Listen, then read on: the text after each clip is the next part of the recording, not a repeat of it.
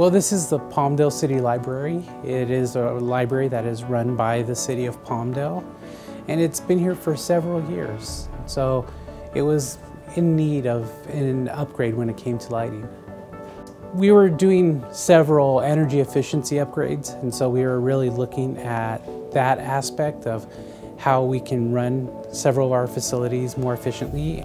It was a huge difference once we did the full retrofits and we retrofitted all of the lights with LED lights just to see how better lit the facility is and how much better it is for reading.